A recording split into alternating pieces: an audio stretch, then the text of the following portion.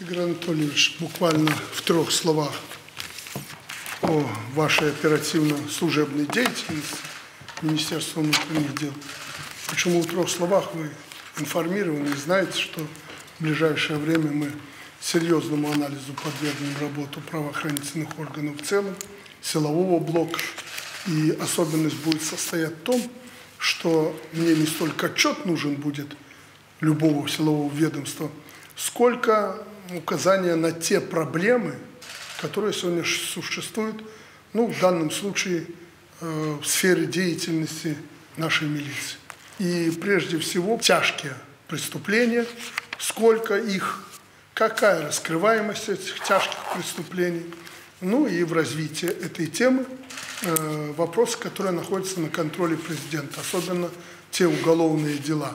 И еще в развитии этой проблемы вы мне скажите, что больше всего настораживает по линии милиции э, в нашем обществе. Это очень важно. Ну и я бы предложил сегодня обсудить вопросы, которые касаются МВД, но которые, может быть, напрямую не, входят в сферу деятельности МВД. Хотя, как сказать, допустим, если говорить о спорте, о выступлении нашей, прежде всего, вашей команды «Динамо» хоккейной, надо обсудить и эти вопросы. Э, что касается кадрового обеспечения МВД, еще вопрос. Э, какие у вас здесь настороженности? Может быть, необходимо принимать какие-то решения? Э, по докладу вот, письменному я вижу, что там 10 там, примерно процентов некомплект по каким-то подразделениям. Ну, может быть, и особо не напрягаться в этом отношении, а где-то взять и подсократиться – но ужесточить по тем или иным э, видам преступлений и правонарушений, ужесточить ответственность. Ну, как вы там пытаетесь предложить э, ужесточение ответственности по линии ГАИ.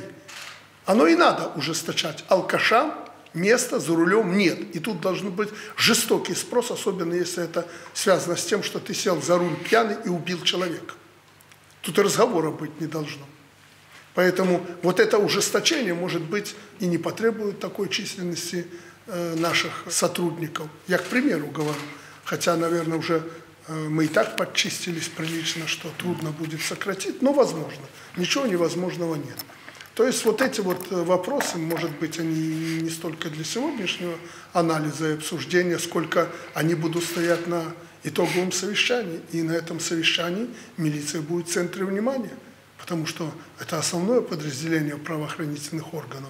Это самое крупное подразделение и вопросы в сфере э, внутренней, даже внешней безопасности э, многие касаются нашей милиции.